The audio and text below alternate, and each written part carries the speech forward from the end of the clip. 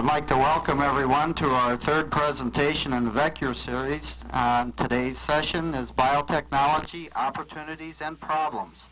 It will be presented by Dr. Ari Christofferson, uh, Director of Biotechnology for the Upjohn Company. So without any further ado, I give you Chris Christofferson and Biotechnologies, Opportunities and Problems.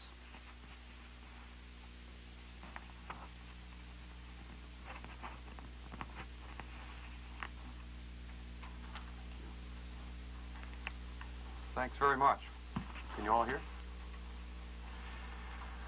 Uh, to begin with, I would like to express my thanks to the organizers of the VECURE series for the invitation to talk about biotechnology. Um, more specifically, actually, I'd like to thank the lecturers, the organizers for scheduling a 50-minute lecture because uh, university professors can't talk at any other time period than 50 minutes. Uh, this reminds me of my classes. There are four seats in the front for those people who are standing out in the back. in order to get to the uh, to the point of describing some of the things of interest, uh, I think it's probably appropriate if we back up a bit and uh, start from the beginning, which for me was about a year ago, when I first started talking to uh, Jake Stuckey and Ted Cooper and others here in PR&D about the possibility of joining Upjohn on a permanent basis. Um, the honest truth is that the concept about biotechnology that we're now working under has evolved somewhat from our early discussions, and I think it might be of interest to uh, describe to you some of the early discussions and see how that uh, evolution actually occurred. I must say, uh, from the very beginning, Jake Stuckey and Ted Cooper and many others expressed uh, what I felt was a great deal of enthusiasm about the concept of biotechnology and an equal amount of confidence about how easy it would be to be successful in a big way in this business. Well, uh, as you might expect, as a result, they suggested some initial experiments that we might use to sort of prove the theory of biotechnology in a big way. Uh, for example, one of the first things that came up was uh, they, they, pointed out that the idea of using genetic engineering to uh, create new hybrid species, uh, you know, such as the lineman you see on TV, is, uh, is an idea that's been around for some time. And so, not surprisingly, uh, such successes like that in agriculture led uh, Jake Stuckey and Ted Cooper to suggest that uh, perhaps the next projects we should try, that is, the first ones in our program, should involve uh, animal genetic engineering. And so, the first thing out of the barrel was a suggestion to do the project that's indicated on the first slide. Now, as you'll notice on this slide, on the right-hand side, for example, even before we got going on this project, the enthusiasm ran so high that they gave names to the species. And the one on the right, uh, standing next to the farmer in the red, is called a lamb babbit. And the one down at the bottom is called a rabig.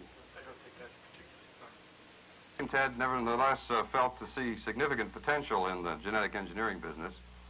In fact, uh, when the initial discussions took place about the actual goals and objectives for our first year's set of projects for biotechnology, uh, they both suggested rather emphatically that we undertake a, a high priority, short term, special project using growth hormones.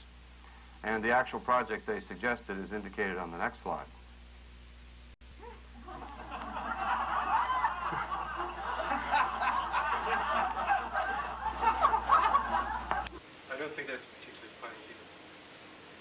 I indicated to them that some projects are harder than others. And,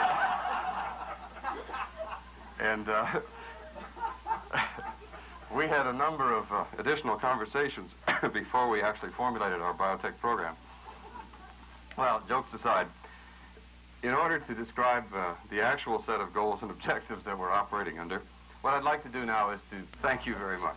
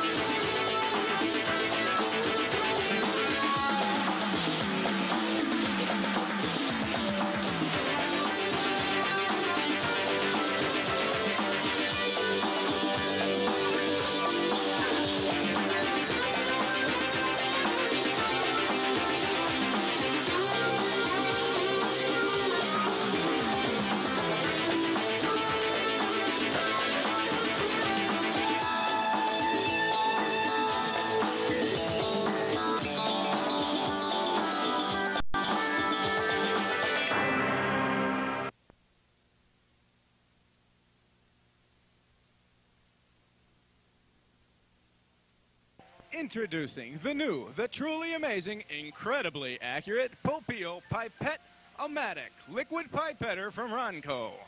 Simply remove this wonder device from its attractive packaging and insert your pipette, not supplied. Immerse the tip below the level of any color liquid. That's right, this fantastic facsimile of a useful product will work on liquids of any color. Suck the liquid up into the pipette, not supplied, and begin dispensing with incredible speed and accuracy.